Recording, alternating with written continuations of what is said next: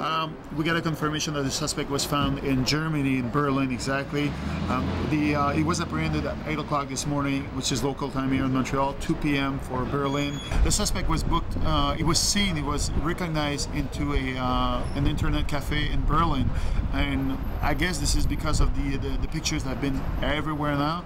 We only get a confirmation, a positive confirmation, at a quarter to one o'clock this uh, afternoon. Why that is? Because we were waiting for fingerprints his picture was everywhere and that have been extremely helpful. We had a lot of help of different agencies. This is 190 different agencies that have been helping us during this case and this is a very good teamwork. Next step now, we'll see all the all the paperwork that we got to do for the extradition to bring him back to Montreal to face justice. This is where we're at, but at least he's detained now. He'll be appearing in court tomorrow, and we'll see details. It can take a long time. We got no clue how long it's going to take exactly to bring him back to Canada. Why that is, he can contest this or not. So that will be uh, that will be adding to the uh, the time or not. So we'll see that tomorrow.